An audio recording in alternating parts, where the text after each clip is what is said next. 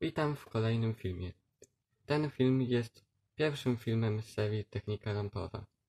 W tym odcinku przedstawię Wam budowę oraz zasadę działania lampy elektronowej. Pamiętajcie o zostawieniu łapki w górę, yy, subskrypcji oraz komentarza. Zapraszam do oglądania. Gdy wynaleziono lampę żarową, potocznie zwaną żarówką, która składała się, jak widać, z bańki szklanej, której jest próżnia, a w środku umieszczony jest wolframowy drut, który pod wpływem przepływu prądu emituje ciepło oraz światło. Napotkano wtedy na pewien problem. Po pewnym czasie pracy żarówki, żarówka pokrywała się od wewnątrz ciemnym osadem, który blokował przepływ światła. Y, zaczęto w tych czasach udoskonalać żarówkę. W tym czasie wykazano, że rozgrzany ludzik emituje elektrony. Metale zawierają elektrony swobodne, czyli nieuporządkowane, porozrzucane po całej powierzchni nośniki prądu elektrycznego. Gdy do kawałka metalu przyłoży się napięcie, elektrony zaczną płynąć od potencjału niskiego do wysokiego, czyli od minusa do plusa. Gdy za pomocą przyłożonego napięcia rozgrzeje się metal do wysokiej temperatury, powiedzmy 1000 stopni, elektrony rozpędzą się na tyle, y, że częściowo wyskoczą na zewnątrz, po czym w wyniku działania tlenu metal dość szybko się utleni. Wygląda to w taki sposób. Mamy sobie kawałek metalu. Tutaj przykładamy napięcie plus minus. Kawałek metalu się rozgrzewa i emituje elektrony.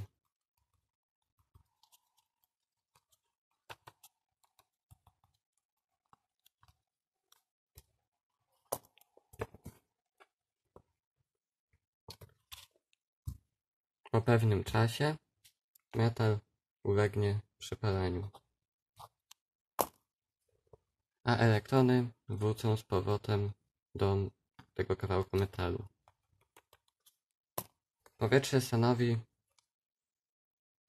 barierę dla elektronów, które nie polecą zbyt daleko, dlatego że powietrze jest y, dużo gęstsze od drobnych elektronów do działania lampy elektronowej niezbędna jest próżnia. Są to lampy próżniowe. W skład lampy elektronowej wchodzi, jak widać, szklana bańka. Czasem bańka jest w niektórych lampach metalowa. Cokół, czyli ta podstawa. Metalowe wsporniki, jak tu widać, tutaj mamy takie wspomniki różne. Mamy tutaj również podstawki z Miki. Jest to kryształ odporny na ciepło. Tutaj widać taki element.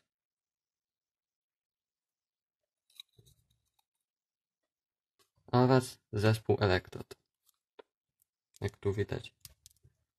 Elektrody są wykonane w postaci różnych blaszek, lucików.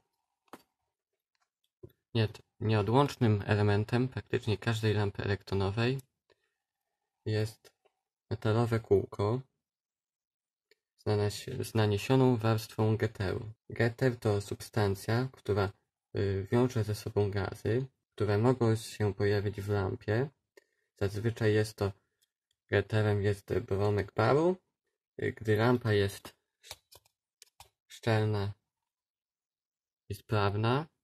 Getter ma taki oto kolor, jest taki srebrzysty. A jak lampa ulegnie uszkodzeniu, getter zamienia się w taki oto kolor, jest biały. Jak tutaj widać na uszkodzonej lampie, jest to taki proszek. Białe zabarwienie lampy oznacza o tym, że lampa jest rozszczelniona i dostało się do niej powietrze. Zazwyczaj lampy y, tłuką się w tym oto miejscu, przy nóżkach.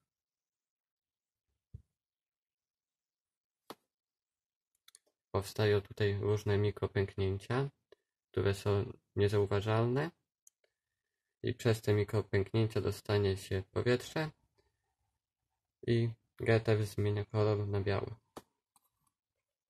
Dzieje się tak dlatego, że bromek baru, który tutaj jest, będzie chciał y, zaabsorbować wszystkie gazy, które dostały się do lampy. Y, czasem widać tylko takie małe zabarwienie na biało. Y, znaczy to, że lampa mogła się zagazować. A tutaj widzimy ewidentnie, że naszło do lampy dużo powietrza. Jest to lampa F183 stosowana w odbiornikach telewizyjnych. Jakiś czas po wynalezieniu żarówki w bańce, do, w bańce dołożono dodatkową elektrodę. Powstała oto taka lampa.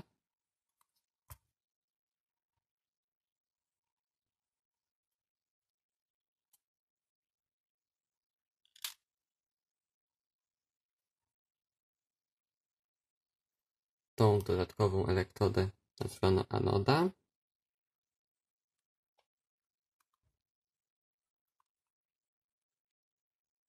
Tutaj mamy żarnik.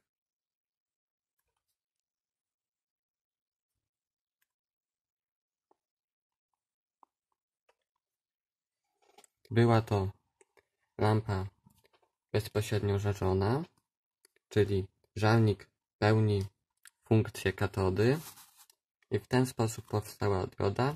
Lampa, nazwa lampy wzięła się od ilości elektrod, w tym przypadku mamy dwie elektrody, anodę i katodę. Tutaj mamy taką przykładową diodę. Jest to dioda UY1N, stosowana e, w radiach Pionier. Lampa ta działa w ten sposób, że wskutek termoemisji żarnika, tutaj przykładamy napięcie, rozgrzany żarnik emituje elektrony, czyli nośniki prądu elektrycznego, które płyną od żarnika, czyli katody, do anody. Tak płyną. Czyli od potencjału niskiego minus do wysokiego plus. Dzięki temu zjawisku możliwe jest prostowanie prądu. Jeśli dodamy do anody napięcie dodatnie, do katody napięcie ujemne, to przez diodę płynie prąd. Wtedy strumień elektronów przyciągany jest przez anodę, dlatego że ma potencjał dodatni. A gdy przyłożymy napięcie odwrotnie, czyli tu minus, a tu plus, to prąd nie popłynie. Prąd nie popłynie dlatego, że ta elektroda nie będzie emitować elektronów, a ta będzie. Zasada działania diody lampowej jest podobna do zasady działania diody półprzewodnikowej, na przykład takiej. Widzimy, jest różnica wielkości i budowy. A dlaczego możemy użyć takiej diody? Możemy ją użyć do postowania prądu przemiennego. Znajdzie ona y, zastosowanie y, w zasilaczach, detektorach sygnału. Diodę wynalazł John Fleming w 1904 roku.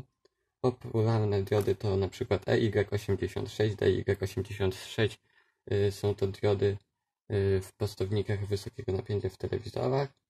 UY1N stosowana w odbiornikach radiowych. AZ1 podwójna dioda, jak tu widać, używana w odbiornikach radiowych.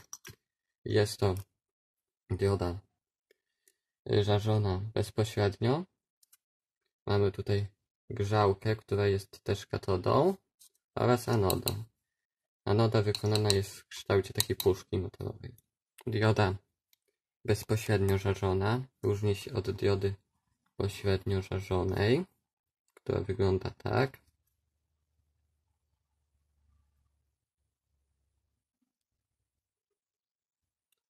Że ma dodatkowo oddzielnie katodę, która jest podgrzewana przez grzałkę. Mamy tutaj żarnik. Tutaj mamy oddzielnie katodę. i anodę.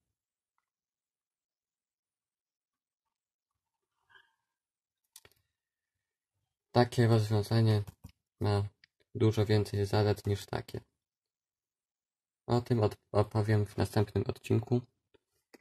Po pewnym czasie od wynalezienia diody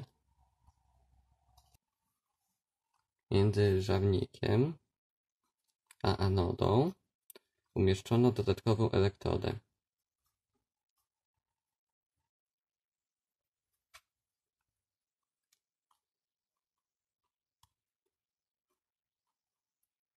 Anoda, żarnik katoda oraz siatka. Zwana siatką pierwszą bądź sterującą.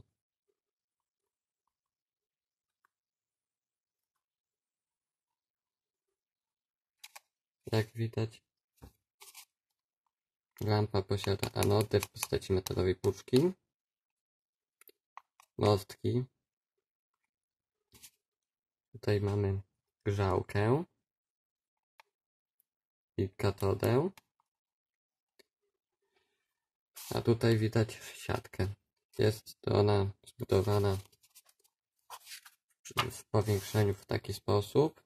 Mamy dwa druty, taki stelaż i na który jest nawinięty taki drut.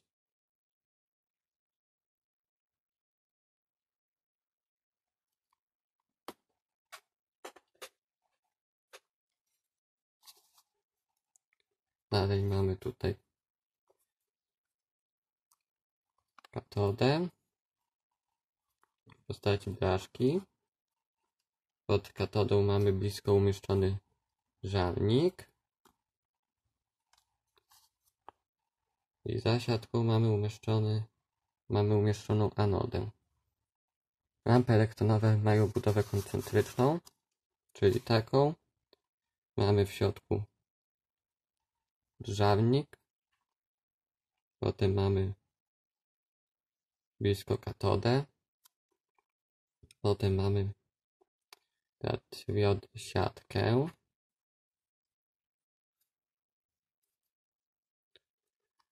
Potem mamy anodę.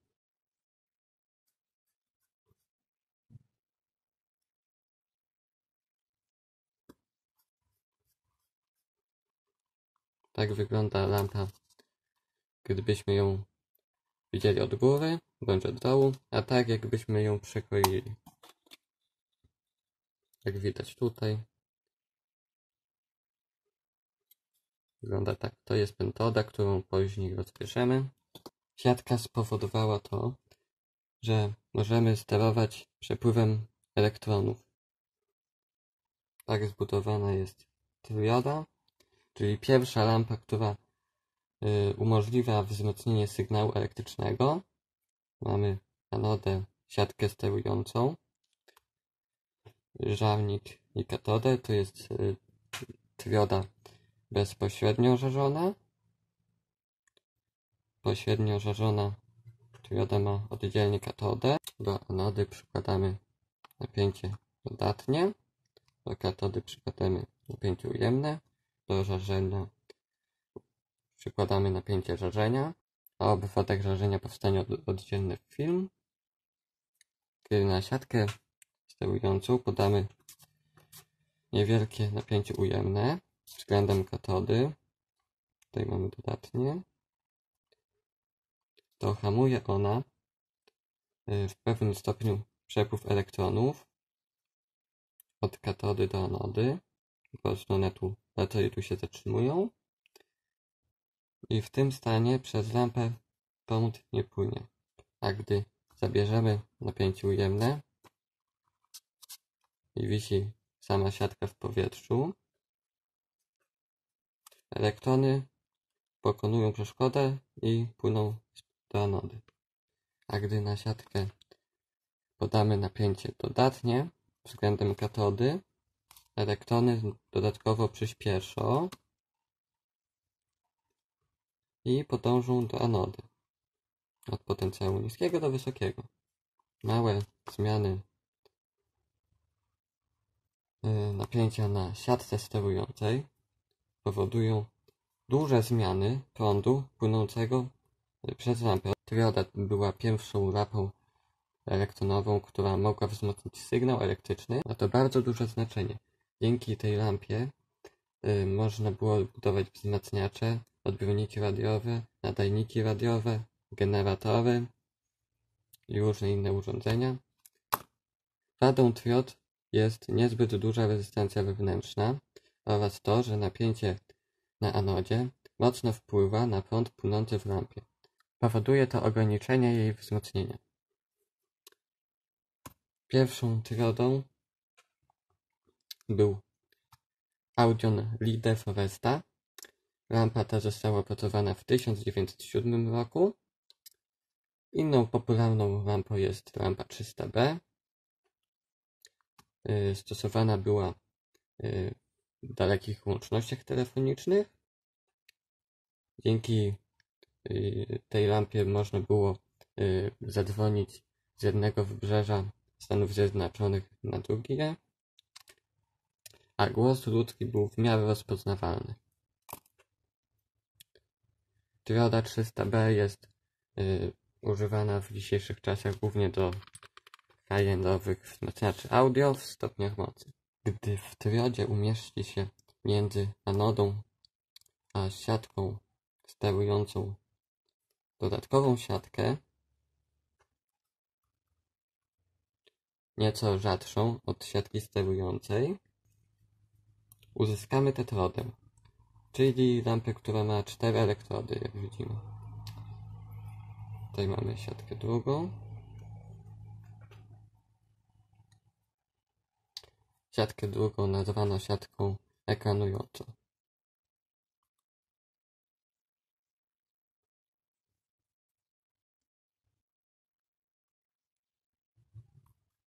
Tutaj mamy siatkę sterującą.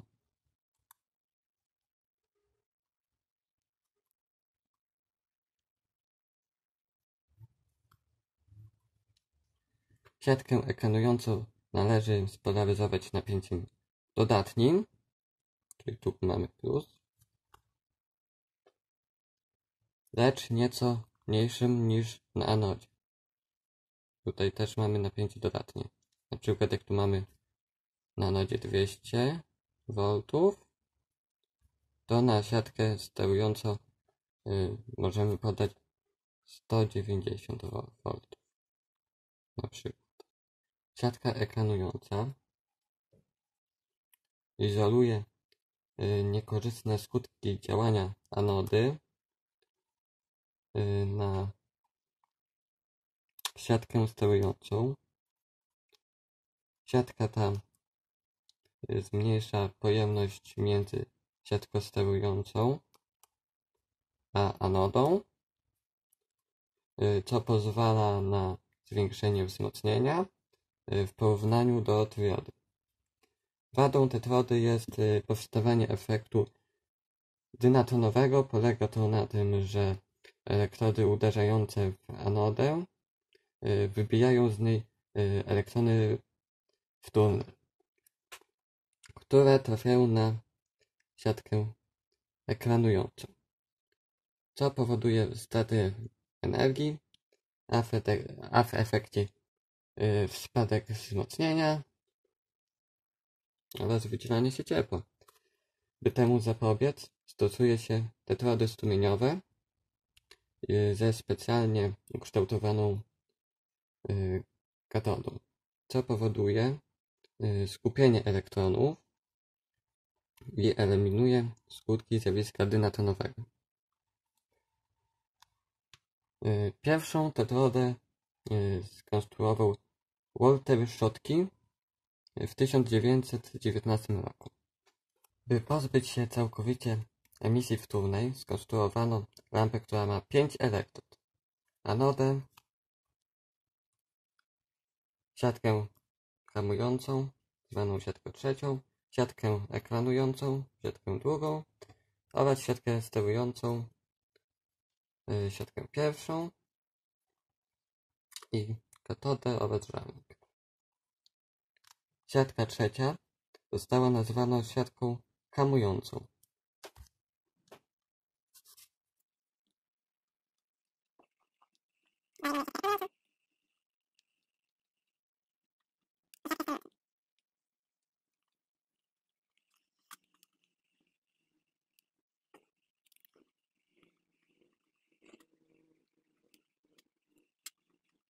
I z takich elementów składa się pentoda, czyli lampa pięcioelektrodowa.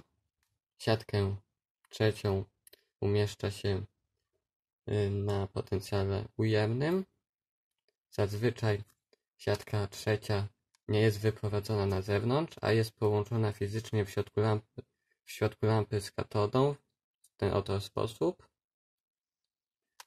A czasem łączy się ją na zewnątrz.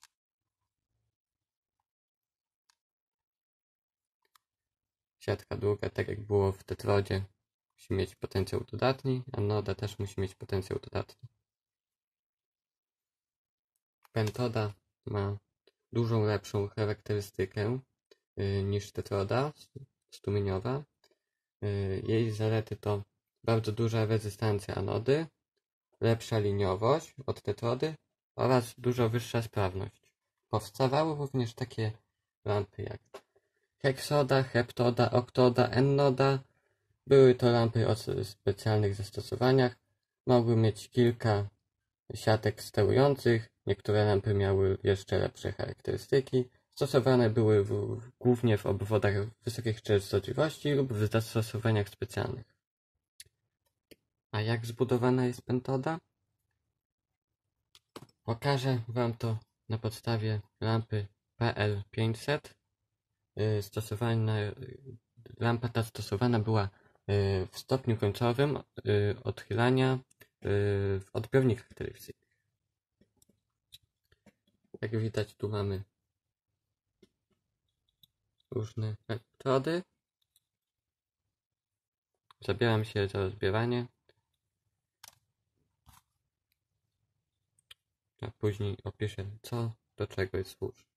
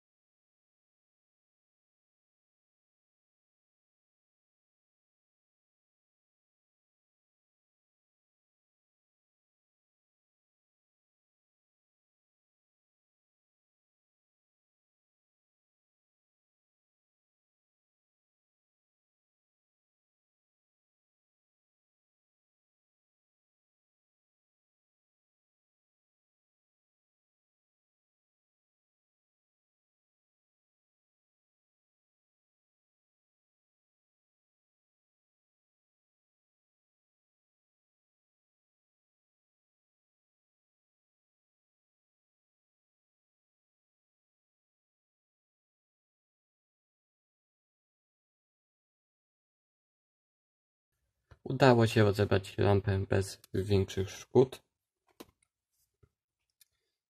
Zaczynając od końca anoda, elektroda w kształcie takiej metalowej puszki.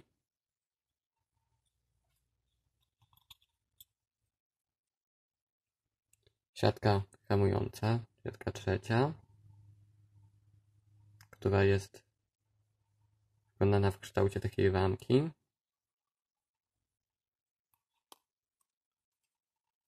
Pod nią jeszcze jest zamontowany taki element. Następnie mamy siatkę sterującą. Wykonana jest w formie takiej siatki na pręcikach.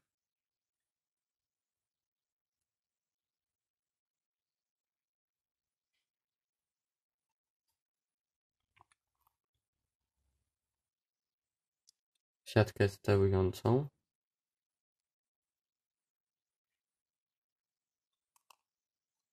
Która ma na górze takie elementy. Nie jest to istotne.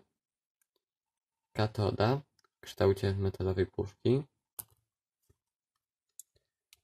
W katodzie znajduje się grzałka, którą jest pokryta warstwą ceramiki.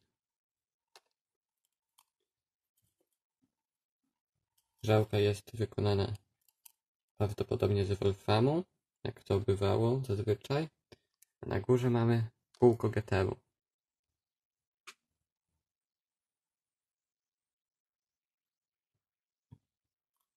Oraz podkładki z Miki. Tak zwane mostki. I w ten sposób wygląda lampa elektronowa, w tym przypadku pentoda.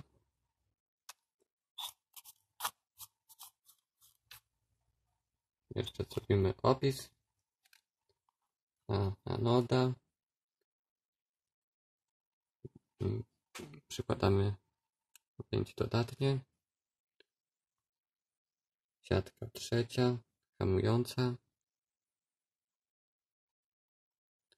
Przykładamy pięcie ujemne.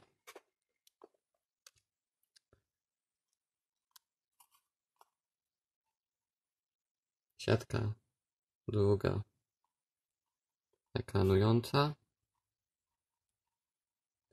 Przykładamy napięcie dodatnie, mniejsze niż na anodzie. Siatka sterująca. Siatka pierwsza.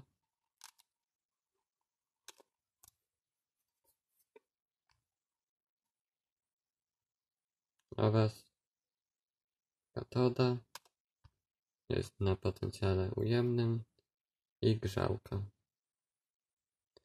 Grzałka zasilana jest y, z oddzielnego źródła zasilania.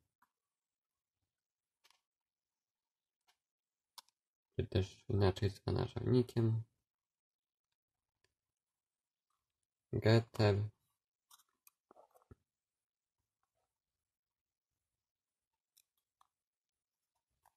czyli mostki z Miki.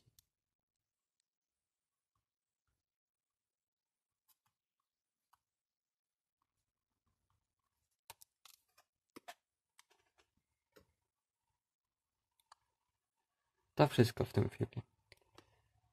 W następnym filmie może zajmiemy się y, lampami opacowymi. A ja Wam dziękuję za obejrzenie. Nie zapominajcie o łapkach, subskrypcjach, możecie napisać komentarz. Ja się z Wami żegnam. Do następnego filmu.